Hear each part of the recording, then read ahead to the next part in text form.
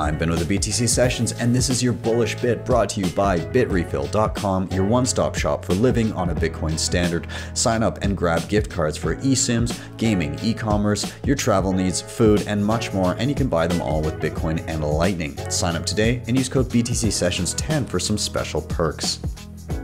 I heard something a long time ago that somebody was just so confident that Bitcoin would not fail because any problems that come up, smart people are going to fix them.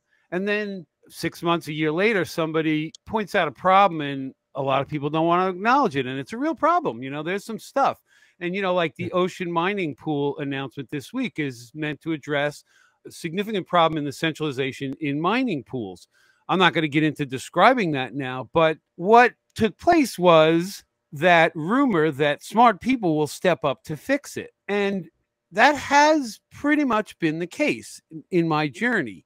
And I see more and more people working at all different levels, a huge amount in the educational space. And so I'm just, I'm super bullish in the fact that we still are in an environment where there are people that are smart enough to step up and to defend this network against the the, the, attacks that come from every direction, including people who may mean well and just aren't educated and they're saying dumb things or, or doing dumb things and so so far we do have an ecosystem what i see and, and a growing one at that of smart strong people stepping up defending this network making sure it doesn't break making sure it lasts for a thousand years so everybody benefits by it. Because anybody that's at that level sees it as much more than just this thing for me for me to get wealthy or whatever.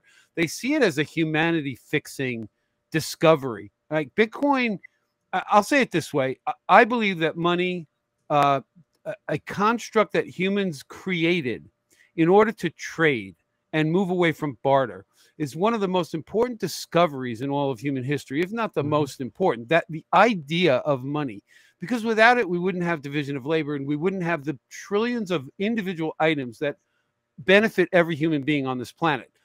But in order to have trade, you needed money. You needed the most saleable good in between every single trade, and everybody had to agree on it. And the world has seen lots of different kinds of money.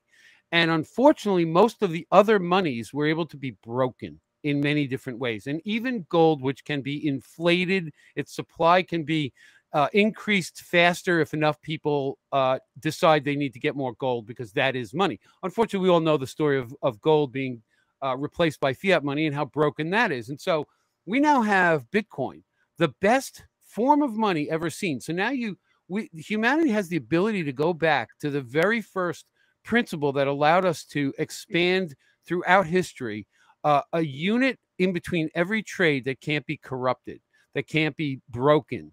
And it just changes the game. It's beyond just adopting it now, having it go up in value, and you reaping the rewards of that into the future.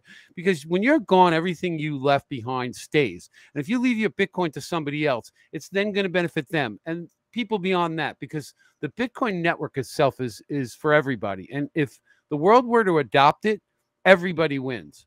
And so